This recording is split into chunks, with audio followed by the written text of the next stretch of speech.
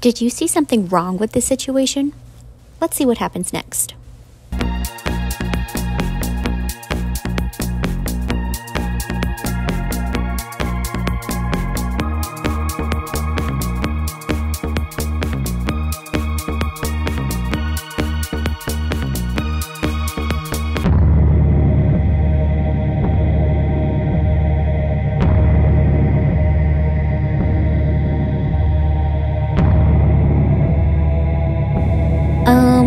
That's how you get norovirus.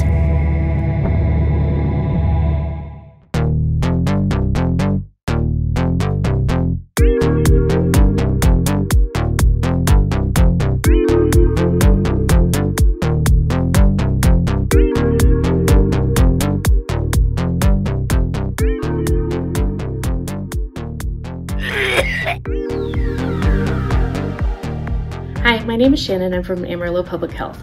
I'm here to talk about norovirus today. Norovirus is actually not a reportable condition in the state of Texas. However, it is the most prevalent foodborne illness in the United States. It hospitalizes up to 400,000 children and young infants every year. Norovirus is caused by person to person contact, food contact, and water contact. The one thing about norovirus that's different than a lot of viruses is that Alcohol-based hand sanitizer does not work on norovirus. You must wash your hands with soap and water to prevent the spread of norovirus. Uh, norovirus incubates for about 12 to 36 hours. So from the time you're exposed, it will stay in your body for about 12 hours before you have symptoms. Norovirus causes intense diarrhea, sometimes vomiting, sometimes nausea, um, and usually lasts about two to three days with symptoms. Norovirus is transmitted from food, person-to-person contact, and uh, contaminated water. Norovirus is very catchy.